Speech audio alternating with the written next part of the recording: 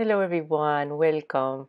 Today's tutorial is very special. It's going to be about how to make this angel tree top. It's not just a regular angel tree top, it's a dog angel tree top.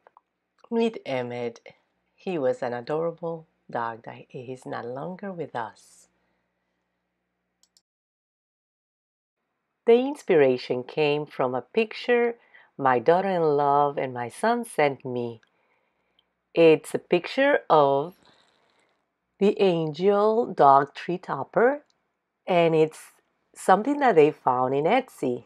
Someone is selling them, and they asked me to see if I can make one for them. And I took the challenge, and what do you think? I think it came out so cute and beautiful, and I love the fact that I can share with you how to make one you can make this for any kind of dog or cat for that matter. So let's get going. Let me show you how you can make this as well. Let me first show you. These are the materials we're gonna be using.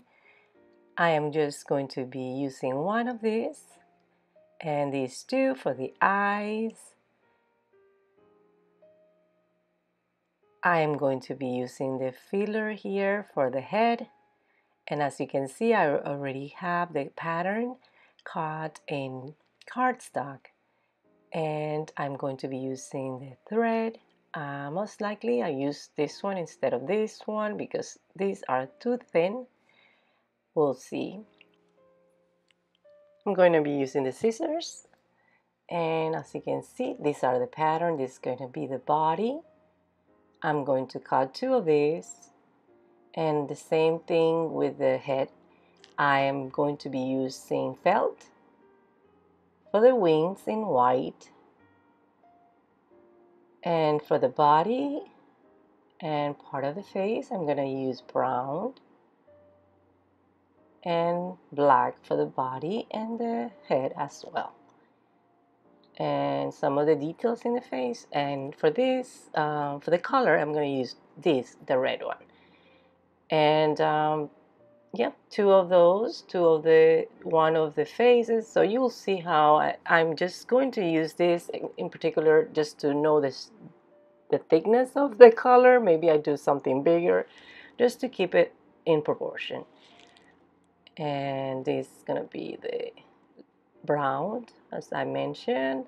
It's gonna be black black and these little eyebrows in brown and this little piece of his nose gonna be black. And this is the inspiration as I mentioned to you. This is what my daughter-in-law and my son sent me. Uh, someone's selling it at Etsy uh, but I figure I can make it for them and mail them to them because they don't live locally. Uh, the price for this is $115.99 and I am going to make it for a fraction of the price. Let's keep in mind that this is because I am a crafty person, but I can inspire you to make your own as well. And that's the idea that um, sometimes you find things that are beautiful, but they're not in your budget, but if you can make it, you might as well. Let's get started and cut all the pattern. I'm going to cut two of these and I'm going to just go along the sides on the lines carefully making it a little bit bigger and if you want you can use tape so so the felt doesn't move and it's easier for you to cut all the patterns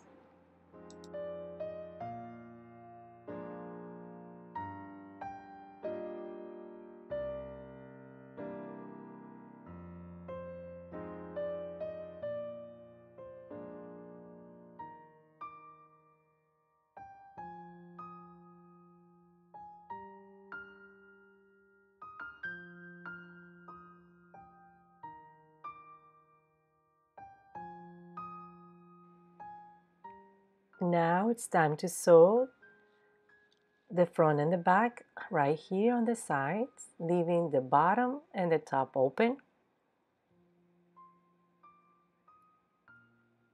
We're going to go along the sides.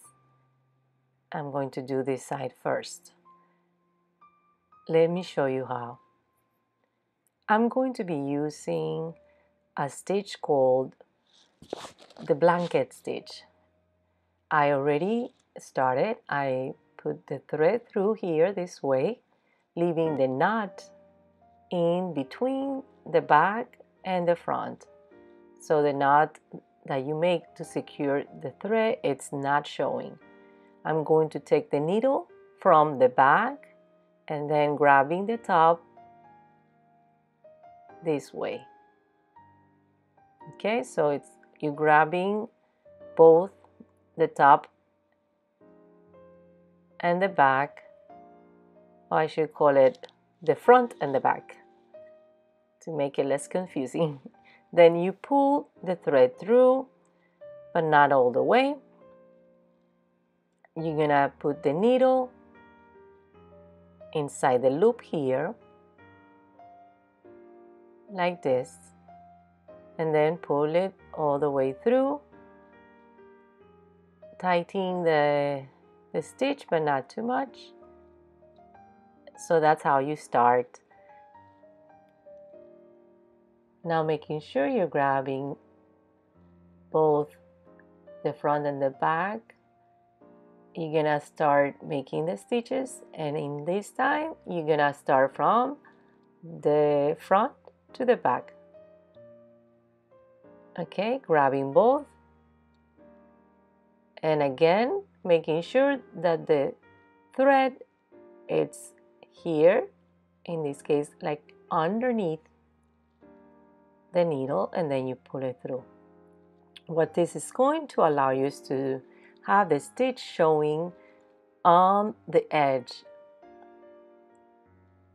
right here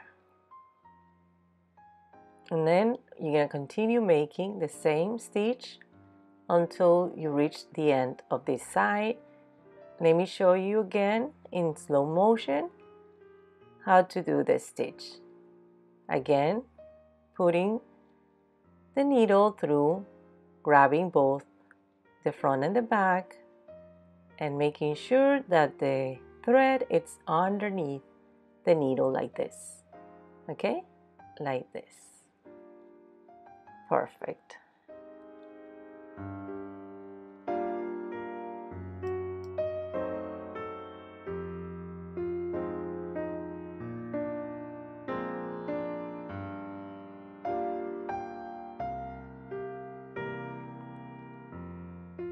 So now I completely close the sides attaching the front and the back and here is the opening I already tested and it works. The tree top goes perfectly on here. Now I'm going to add the head on the top but first I need to put the front and the back of the head together and I'm going to use the same concept. I'm going to use the same stitch to attach it. Let me cut this piece right here and then attach them both together for the head I am going to use polyfill to make it puffy and more realistic so let's start making the blanket stitch all around the head as well Let me show you again how to start. I already made the knot in the thread to secure it. I'm gonna come here and I'm going to grab both of them, right? But before I start, I'm going to just grab this one and I'm going to make this stitch and leaving the knot here in between the front and the back. And now it start I start on the back to the front, putting the needle through, pulling the thread, but not all the way. I'm just going to have a little loop here and I'm going to just take the needle through the loop.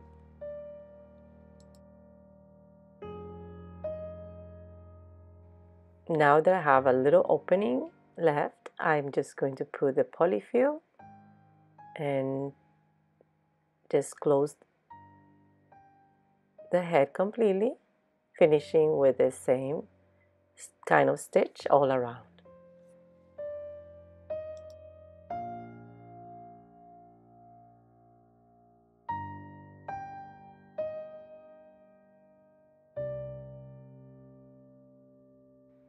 Now it's time to put it all together. As you can see, I already added the belly to the body using the same kind of stitch.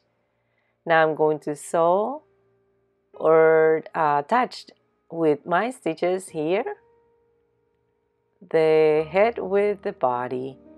I'm just going to use the regular stitches. I don't need to be fancy here as this is going to be covered with the red color after. So just do the best possible work here. Just try to be nice and neat, but it doesn't have to be perfect and it doesn't matter if the thread is showing because then again, we're going to cover it with a color. Now, as you can see, I'm using this wood stick. I'm going to carefully take it through in the middle here because I don't want the head to be flimsy and also this wood stick is going to serve to hold the halo on the top.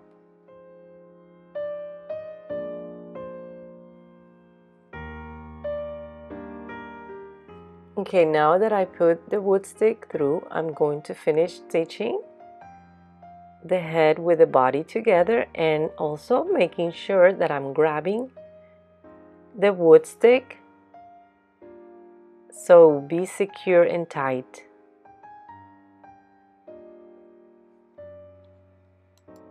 Okay, so for the rest of the parts I'm going to be using glue in some cases or I'm going to be attaching it with a thread and the needle for example, for the eyes, I'm going to be using the thread and the needle.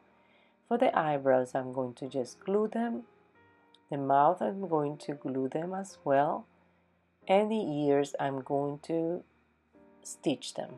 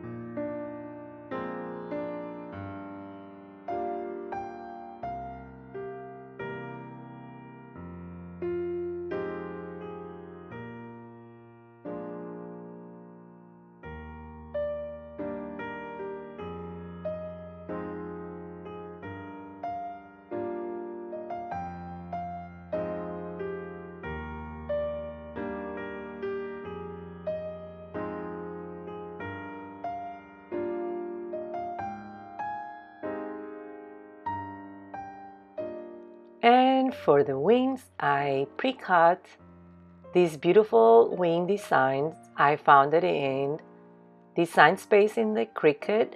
If you don't have a cutting machine, you can always just trace it in cardstock and cut just the regular size um, and shape of the wings.